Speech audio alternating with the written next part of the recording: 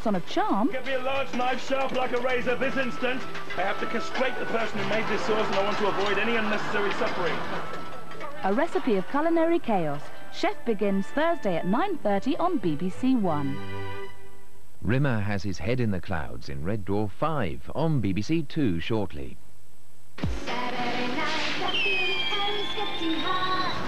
At 5.45, a young boy and an alien team up for a dizzying ride through space and time. You are the Navigator.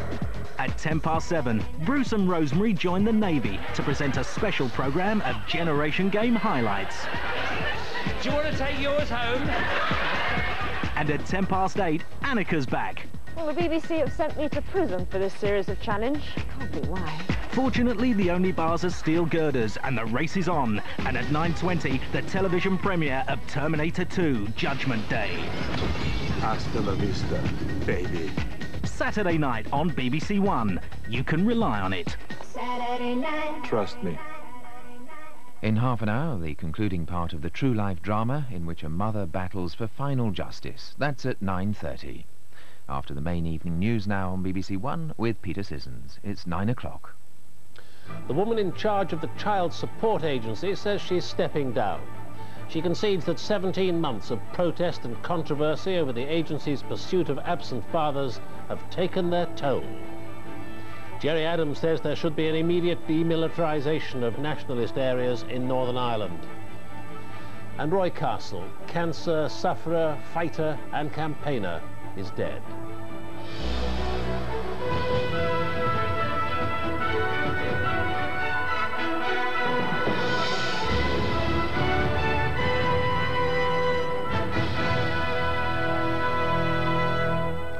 Good evening. The Chief Executive of the Child Support Agency, Ros Hepplewhite, handed in her notice today, still strongly supporting its objectives, but admitting it had been an exceptionally demanding post.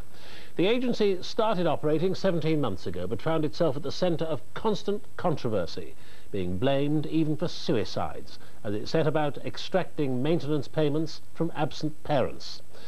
Two months ago, Ms. Hepplewhite made a frank admission of the agency's failings and apologised to its clients.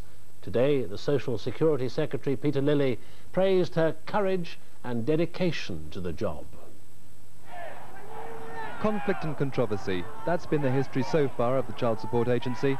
Absent parents claiming the agency is demanding too high a maintenance payments, while single mothers believe it isn't chasing non-paying fathers hard enough.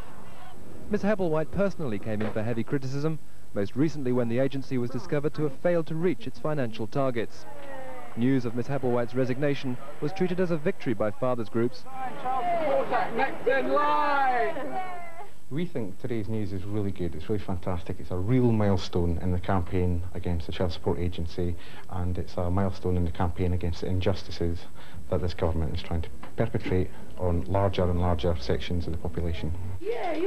But campaigners for lone parents fear her departure could signal further concessions to the CSA's opponents and a reduction in the amount of maintenance paid to mothers. But the fear is that there's some major change coming from government because however badly the agency was doing under Ros Hepplewhite, she stood by the policy. And our fear is now that government will move away from the policy and lone parents and their children will end up worse off than they were before. In her letter of resignation, Miss Hepplewhite said she felt it was time to step down from what was an exceptionally demanding post. She said she strongly supported the objectives of the Child Support Act and hoped that in time they would be more widely recognised as an important and necessary innovation. In reply, Mr Lilley said he fully recognised the exceptional pressures on Miss Hepplewhite and he thanked her for her courage and dedication in introducing the child maintenance reforms. The agency has missed every one of its targets and above all it's um, let down the children it was supposed to help. My one hope is that the government has learnt some lessons, that they won't expect uh, the new uh, chief executive simply to defend the indefensible, but they'll really get down to listening and changing the system. I hope the government will listen. They certainly need to listen. Everybody has been affected by this all across the board and we really need time in the next session of Parliament to change the legislation, not just the person at the top.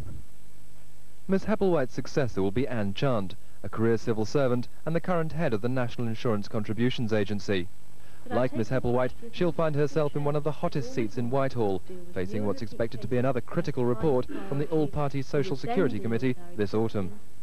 The government says it remains committed to the principle behind the agency that parents be financially responsible for their children, but the pressure for change has been intense. Whether Ms Hepplewhite's departure eases that pressure or indicates further reform is not yet clear. Richard Hannaford, BBC News, at the Child Support Agency in London. The Sinn Féin leader, Gerry Adams, has said the government must make an immediate start on withdrawing the security forces from Catholic areas of Northern Ireland. He told a news conference in Dublin that all raids, searches and arrests should stop following the IRA ceasefire. But he appealed for calm after a Catholic man was shot dead by loyalist terrorists. He said the IRA would not be provoked by any group trying to wreck the peace process. The security forces on patrol in West Belfast tonight, still on the alert despite the IRA ceasefire and still facing the threat from the loyalist paramilitaries whose activities continue. John O'Hanlon was shot dead as he worked on a car at a friend's house in a Catholic area. Two men climbed over the garden hedge and opened fire from close range. The first victim of terrorism since the IRA ceasefire came into effect. The outlawed loyalist group, the Ulster Freedom Fighters, said they'd carried out the murder. John O'Hanlon was killed in North Belfast the most concentratedly violent few square miles in Northern Ireland, a network of small Protestant and Catholic ghettos, which has seen a fifth of all the deaths in the 25 years of the Troubles. It was an appalling act, a cowardly act, uh, but one aimed uh, quite specifically to terrorise the Catholic community in particular and the community in general in North Belfast. I believe that it is intended to try and destabilise the uh, peace process uh, in Northern Ireland and in Belfast in particular. The Sinn Féin president, Gerry Adams, at a news conference in Dublin, said the IRA would not become involved in what he called knee-jerk reactions to the murder of Catholics by loyalist paramilitaries. The IRA, he said, would not be provoked by anyone who was trying to wreck the peace process. Later, though, in a BBC interview, he said the government must move on what he called demilitarisation now. Because of government restrictions, his words are spoken by an actor the watchtowers along the border, the clearing of cross-border roads, the repressive legislation, raids and arrests, searches should stop immediately. All these things need discussion and dialogue and negotiation. But let us be sure that we're looking for a transformation of this situation, of a policing service, and the RUC is not that policing service. Even so, Sinn Féin held a protest outside the RUC station nearest to where last night's murder was committed. Perhaps an example of what they're calling the new phase of Republican struggle. There was never much question that just because Republicans called a halt, the loyalist paramilitaries would follow suit. Tonight, around 150 people on the Shankill Road, a Protestant heartland in Belfast, held what they called a victory rally, deliberately mirroring Republican celebrations earlier in the week. Also tonight, reports from Dublin suggest that another Republican group may be about to announce its own ceasefire. Sources close to the INLA, the most unpredictable and reckless such organisation, which was responsible for the murder of leading Conservative MP Airey Neave in 1979, may well announce a complete cessation early next week. But loyalist terrorists carried out the first murder after the ceasefire and also the last one before it. The funeral of Catholic Sean McDermott, found shot dead in a car near Antrim on Wednesday morning, took place in Belfast the increasing hopes for peace are little consolation to the bereaved. Dennis Murray, BBC News, Belfast. President Clinton says he's delighted by the ceasefire and has promised a peace dividend for the people of Northern Ireland. He met the Irish Foreign Minister Dick Spring this afternoon and discussed the prospect of additional American aid for the province. The White House has been quick to highlight the President's role in the peace process, but some unionists are angry at his apparent support for Sinn Féin. The Irish Foreign Minister's hastily arranged flight to the President's holiday retreat at Martha's Vineyard is a measure of the prominence the Irish peace process is being given in the United States. He's the only foreign guest invited to break into the presidential vacation. So, on his arrival, Dick Spring sought to allay Protestant fears about the extent of American influence. Oh, there's no reason for unions to be nervous. I can understand any reservations they might have, but I'm sure that President Clinton would want to reach out to unionists as well. At his borrowed vacation cottage, a relaxed US president appeared to greet his guest, clearly delighted with the occasion and the chance to highlight his own role in facilitating what's being portrayed here as yet another international peace breakthrough. After 30 minutes of talks, he emerged with his Irish guest to make his first direct comment on the IRA ceasefire. The United States is strongly supportive of this peace process. Uh, we want to reach out uh, to work with all the elements in Ireland, in Northern Ireland. We want to all the communities to feel a part of the peace process and to feel that there is a peace dividend. We want to continue to work with and support the work of the government of Ireland and the government of Great Britain. And uh, we are prepared to take some steps uh, to do whatever we can. President Clinton doesn't want to upset the British government by publicly overstating the extent of US influence, but both the Americans and the Irish seem keen to play up the importance of President Clinton as peacemaker. I believe that the American role, the President Clinton's administration, has been a vital one. Uh, President Clinton is a friend of both the British and Irish governments, indeed the communities in Northern Ireland. That has been constructive, and I would hope it will be seen that way by both communities, and it will continue to be constructive. At a news conference after the meeting, Mr. Springs said he expected American involvement now to be largely financial. We didn't actually go into the detail of figures, uh, but I would be hopeful that uh, substantial sums will be forthcoming, but this can be worked out over a period of time. US officials are warning the president can't commit himself to direct aid until he's agreed it with Congress, so any talk of an aid package is premature. But President Clinton clearly wants to remain closely involved in the promotion of an Irish peace process. Bridget Kendall, BBC News, Martha's Vineyard. Businesses in Northern Ireland are likely to receive considerable international aid if the ceasefire continues. Ireland's European Commissioner today said he expected a very substantial contribution to be made by the European Union. But as our business correspondent Peter Morgan reports, a lasting peace may not lead to the economic recovery that many people in Northern Ireland have anticipated. Roy Bailey's printing company employs around 100 people in the countryside outside Antrim. The firm moved here 20 years ago when its plant in Belfast was blown up. Since then, he's faced tough competition from his rivals and tough questions from his clients. Well, they would say, um, how can you guarantee delivery? Uh, what happens if your factory's bombed? How can you guarantee delivery? Uh, are you sure that uh, you know you're going to deliver the goods on time? Questions that companies outside the province would not have to answer. Across the road, a Taiwanese video company has opened. Peace could bring more foreign investment, but it's in tourism where most jobs would be created. The chairman of the tourist board estimates 10,000 in five years. The Northern Ireland tourism contributes only 2% to our economy here, compared to 6% in the south and 8% in Scotland. So we've got a, a long way to catch up. But a peace dividend wouldn't benefit everyone. A whole industry created around security could now crumble. The police here, the, the Royal Ulster Constabulary, it's probably got a manpower three times as high as it normally would have in peacetime. So something like two-thirds of the jobs are going to go over some period of time. We, we don't know how quickly they'll go, but they will go. And of course there are quite a number of people who are dependent on the, on the spending of the police and on things like the reconstruction of bomb-damaged buildings. The critical factor in determining whether a peace would make Northern Ireland more or less prosperous may well lie back in Westminster, and whether the government is prepared to maintain the £7 billion a year it spends here, or if faced with reduced security needs, the Treasury would demand a peace dividend of its own. Peter Morgan, BBC News, Belfast. Another three days of industrial action have been announced by the RMT Rail Union. This means four days of disruption are now planned for the next three weeks. The next stoppage will be for 24 hours on Thursday, with a two-day stoppage on the following Tuesday and Wednesday, and another one-day strike on Friday, the 23rd of September. The announcement came as a leaked letter from Railtrack confirmed it's considering sacking striking signal workers. But the company insists this is just one of the many options it's exploring. The man in Railtrack's driving seat has a very tough decision. With no deal in sight, does he allow the dispute to grind on? Or does Bob Horton, Railtrack's chairman, opt to tell the strikers to work normally on new terms or be sacked? Lawyers for Railtrack are studying the matter with the sacking option in the front of their minds. Under it, Railtrack would move in stages. It would start by inviting strikers to accept its offer. A week later, it would warn strikers that they will be dismissed if they go on strike. And a fortnight later, strikers would be dismissed and told they could come back on the new terms or if they guaranteed not to strike. Outside legal opinion is that it could be done but it would be costly and contentious because procedures like dismissal take time by law.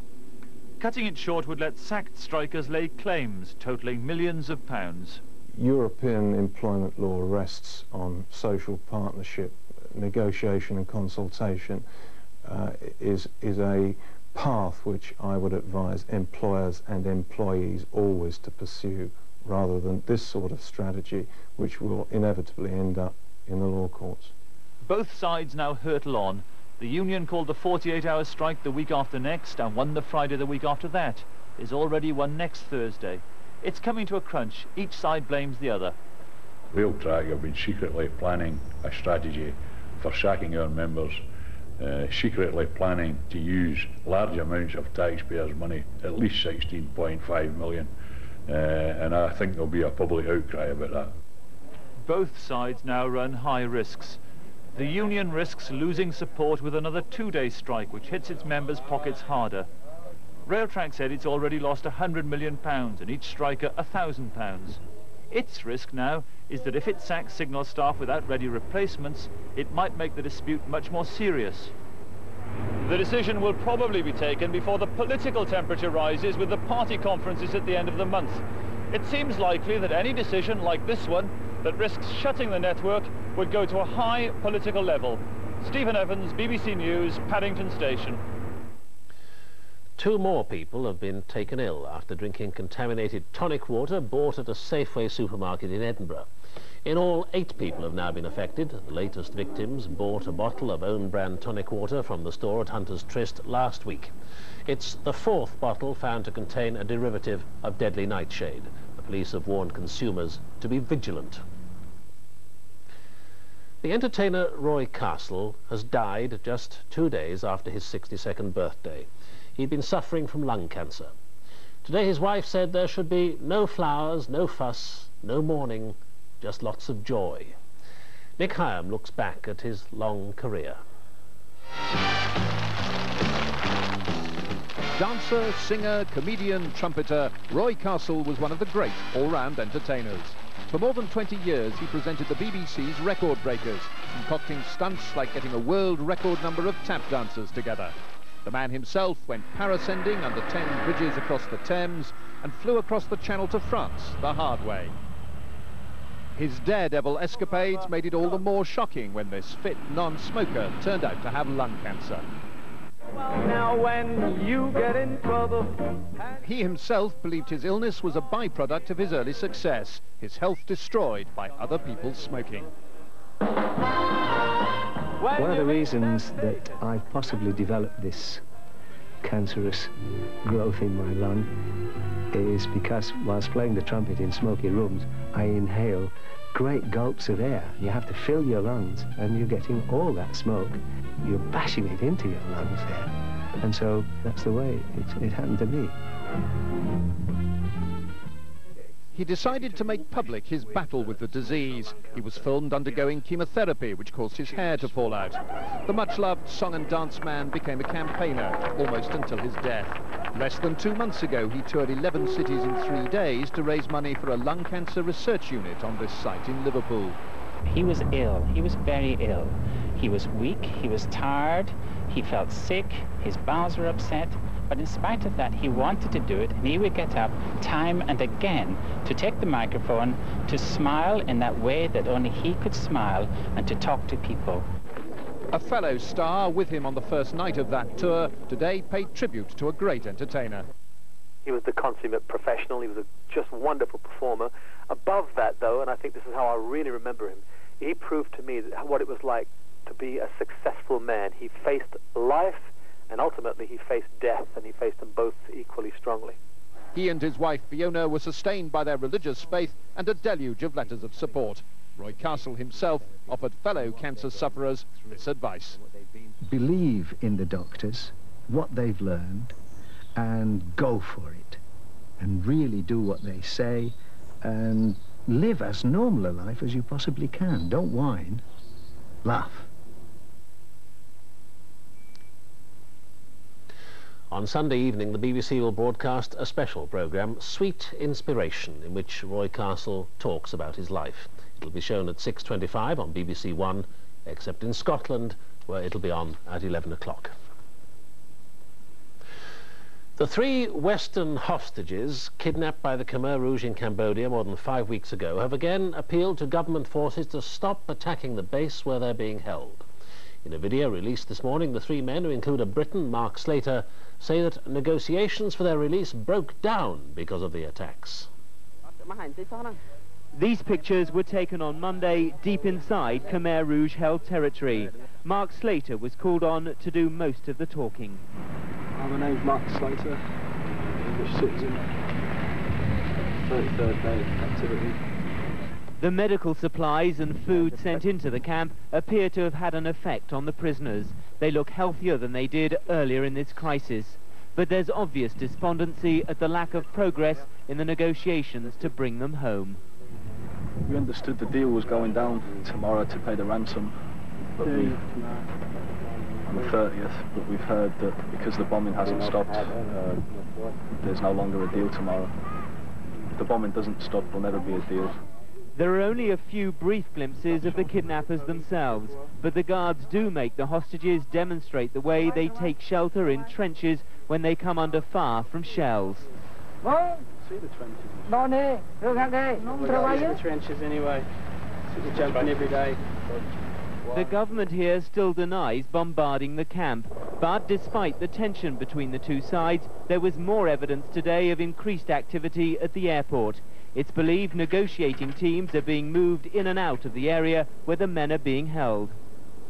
This video was released with the full approval of the Khmer Rouge. The timing could be significant, coming amidst mounting optimism in official circles here that the kidnappers may be softening their position.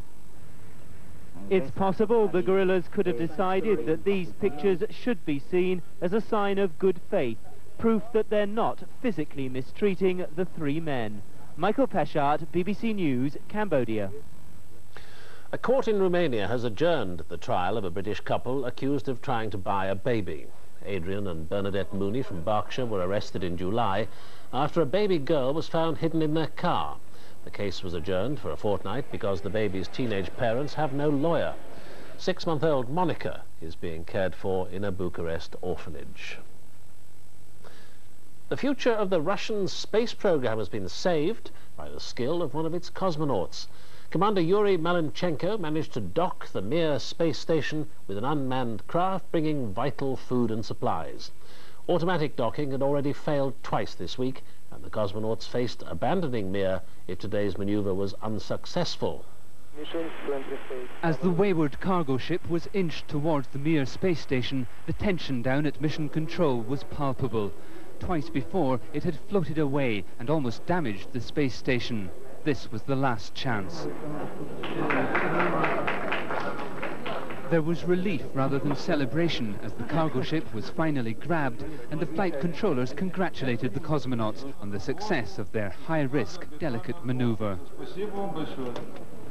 Mir commander Yuri Malenchenko was launched into space just two months ago on his first mission.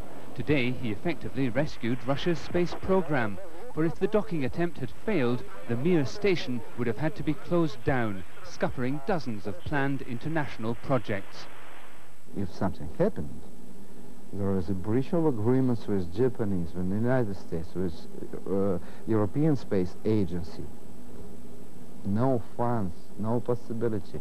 And so it, it, it was very dangerous. But thanks God it, everything ended very well.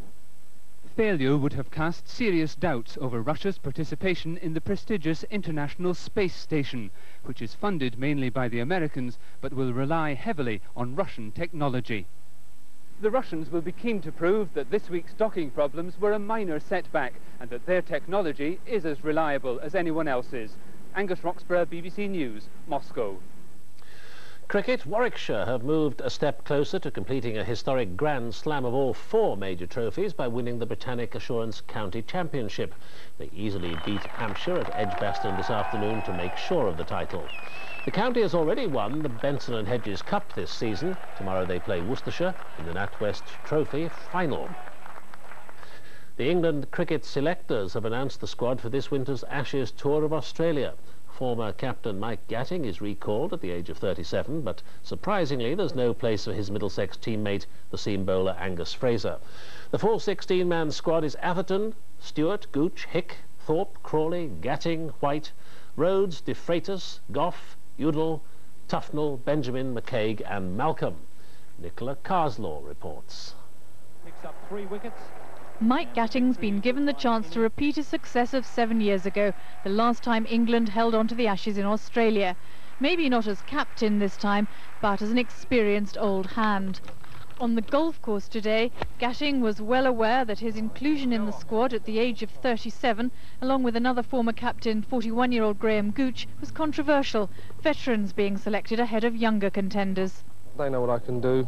Um, I've had a reasonably good season again, so, you know, 37, I mean, that isn't really old. And if there are some youngsters there that, that are doing equally as well, then fine, take them. But if they're not, then, then why shouldn't I go? And criticism was dismissed too today by England's chairman of selectors, Ray Illingworth, who announced the 16-man squad at Old Trafford. Well, I think we've got a right balance. We've got five players in there as batsmen who can play for a lot of years yet. The two experienced ones are, well, I think in the best two or three players in the country anyway but also they're very good players of spin bowling, which could be very important out in Australia, and we just think they are the best players. Perhaps the biggest surprise was the omission of the fast bowler Angus Fraser, an England hero last year.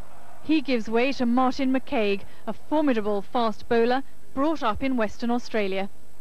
The man under the most scrutiny will be the skipper Mike Atherton, following his much publicised troubles with the game's authorities. The cricket has gone well. Um, the other side of it's not gone too well, but hopefully these things will pass. England must be hoping to build on their success against South Africa, but the Australian campaign's bound to be tougher. Nicola Carslaw, BBC News. The people of Belgium have begun a month of celebrations to mark the 50th anniversary of their liberation from the Nazis. Hundreds of British veterans have returned to Brussels to commemorate the Allied campaign, which was led by British forces under Field Marshal Montgomery. Belgium's unprecedented tribute to her British liberators. 50 years on, the Union Jack is the first foreign flag ever allowed to fly below the Cinquantenaire Arch, which dominates Brussels. Even the mayor, Freddy Thielemans, is named after a Yorkshire soldier. He was born within days of the arrival of the British. Unlike the French, the Belgians never suggest they liberated themselves. It was British tanks which were first into the capital. The Welsh Guards just beating the Grenadiers by 25 minutes after an extraordinary race across Belgium, slowed only by the ecstatic crowds blocking the roads. Everybody was so excited that it was unbelievable. Nothing but garlands of flowers, bottles of wine and so on, you know. In fact, we were most embarrassed. The great port of Antwerp was the other British goal. Five Royal Navy ships are in the harbour where the crucial locks and bridges were saved from German sabotage by the Belgian resistance. The Duke of York came ashore this afternoon to help lead a weekend of Thanksgiving. In Brussels tonight he opened a huge British trade fair promoting some of the products which have made this small country Britain's fifth largest export market. Few here object to the mixture of commerce and commemoration, and almost every British tradition seems to be on display. God save the Queen! God bless Belgium! Tonight, the Grenadier Guards beat the retreat, making new friends and remembering old allies. It's going to be an extraordinary month as liberation and the liberators are feted in towns and villages across the country. James Robbins, BBC News, Brussels. And tonight's main news again. The chief executive of the controversial child support agency, Ros Hepplewhite, has decided to step down. There'll be more on Newsnight at 10.30 on BBC Two, but from the 9 o'clock news, good night.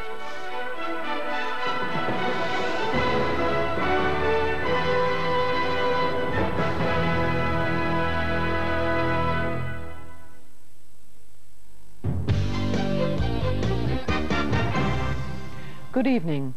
Verdicts of unlawful killing have been recorded at an inquest on three members of a Midlands family who were found dead at their bungalow nearly two years ago. Despite extensive inquiries by West Midlands Police and the offer of a £5,000 reward, no one has been charged with the murders. A relative of the Smiths left the coroner's court with police officers after hearing that the family may have been tortured before they died. Nearly two years later, the murders are still unsolved. All three members of the family, Harry Smith, his wife Mary, and their disabled son Harold, were tied up, gagged, stabbed and beaten. Mr. Smith Sr. had been stabbed a hundred times. At a news conference after the inquest, West Midlands Police said their inquiry would continue until someone was charged. In spite of an intensive search of the Smiths' bungalow and the area around it, the murder weapons have never been found. A motive for the killings has never been established. The police say it was probably theft, but nothing was stolen. Almost two years on, the sadistic killer who murdered the Smith family is still at large. Five million pounds has been given to researchers in the West Midlands who are trying to find a cure for cancer. The money's been allocated by the Regional Health Authority. It'll be spent at new research laboratories in Birmingham, which bring together some of the world's leading doctors and scientists. The money will finance another laboratory and a sophisticated computer system to track the success of cancer treatment across the region. Security staff at Jaguar in Coventry have gone back to work. They'd been striking over plans to contract out their jobs to the security firm Group 4. Union officials say the company has now withdrawn its plan, but a spokesman for Jaguar said the strike had been called off while negotiations take place on a range of issues. Well, that's our news tonight. Have a very good weekend. Good night. Trigger-happy women, ways of getting fired and Britain's obsession with corporal punishment. Michael Moore's TV Nation investigates on BBC Two in a couple of minutes. Good evening. Tomorrow's weather will be in great contrast to today's for almost everywhere. You can see the change taking place, so it's not obvious, but this cloud here and this string of rain is really the herald of much moister and slightly warmer weather, but without the sun. Of course, it's night time now, but this rain will edge in across Northern Ireland tonight into western Scotland, Wales and the southwest by dawn. Most of it is going to be drizzle. It'll increase the mist and the fog on the hills and the moors.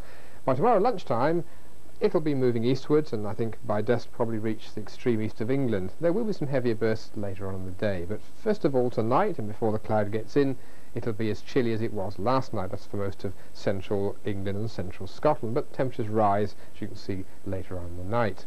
Now the wind we've had today has been light. We're picking up a southwesterly with this next belt of drizzle, and after that you see a hump appearing, a suggestion of a ridge of high pressure, a suggestion of fine weather to follow what's coming on Saturday. So there could be some good news later in the weekend. So we start off Saturday with fine weather for eastern Scotland, probably eastern England, then that cloud picks up, mostly drizzles I've pointed out, with some heavier bursts later in the day, and as they go through, so Northern Ireland could well end up with a drier, if not that much sunnier end to the day. Temperatures will be at their highest in the east, 20 to 21, because that's where the sun will be out longest, 17 or 18 further west, and with a good deal of humidity, that actually won't feel too cool either. Well, there's Saturday lunchtime's chart. We'll move that ahead and this is Sunday, and that is our ridge of high pressure. So we start Sunday then probably quite cloudy and dull, maybe drizzly in the extreme east. That'll disappear during the day. Then a few hours of brighter weather before the next belt of rain. This is probably going to be more significant rain comes into the southwest. That'll move fairly quickly in towards Scotland, northern England, Wales and the southwest, be followed by windier, rather blustery and showery weather. And if we look ahead to the start of next week, that's the hint, a brief spell of fine weather and then tight isobars this suggests some organisation of the showers, and some of them will be heavy, so a blustery start to next week. An organisation worth $30 billion. An organisation with a worldwide reach, with politicians in its pocket and violence in its heart. For $10,000, I could have you killed. Colombia's Cali cartel, the drugs it sells and the money it launders. Dirty money.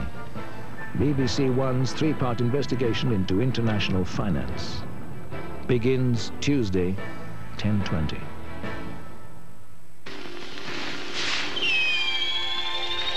The flames of 21st century war, transported through time to the streets of L.A. It's a battle to control the future. And there is no remorse lose, and everything is history. Hasta la vista, baby. Arnold Schwarzenegger, Terminator 2. Tomorrow is Judgment Day. Now on BBC One, we've the second and final part of the true life drama starring Patty Duke and Martin Sheen. Tonight, Mary continues her relentless fight for final justice. Chris went down to the Marine Corps recruiting office yesterday, and uh, he got a consent form there for me to sign. To do what? I want out of here, Mama. Oh, gosh, she's coming this way.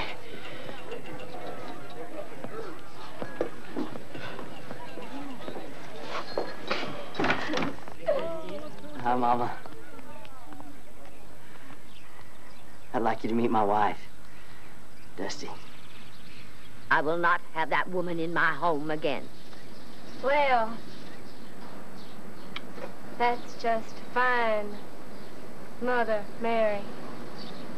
I was saving the blessed news for the right time. And I do believe this is the right time. How would you, uh, civilized, hospitable Southerners put it? I'm with child. You're a whore. You're crazy.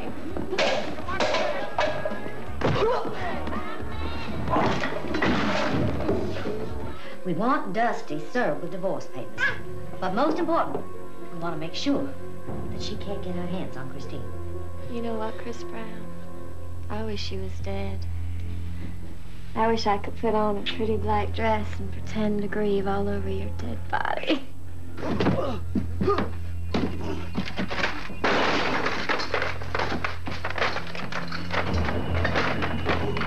Mrs. Brown, we don't have any jurisdiction over civilians. Now, even if we suspected your son's wife of conspiracy, we couldn't touch her. Maybe you can't, but I can. You can do what you will, but you ain't gonna take Christine. You will never see her again. Is there a is there a, a phone anywhere around here? Well, there's one about four or five miles from here. Hey! Hey, what are you doing? Hey!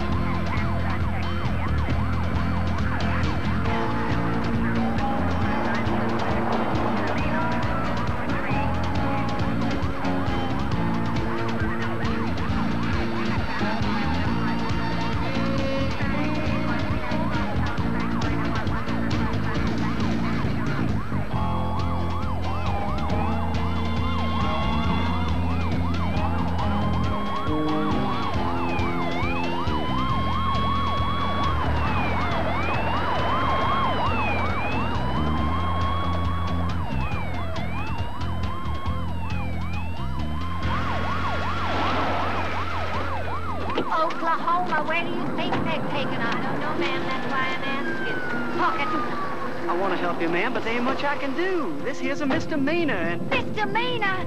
That woman kidnapped Christine. Her own daughter, ma'am. We have custodial rights, ma'am. Miss Brown, Mr. Brown, I want to help you, I really do, but these are liberal times, and I gotta be careful. I go chasing somebody across the state line, and I got trouble myself I can't handle. How the hell with it?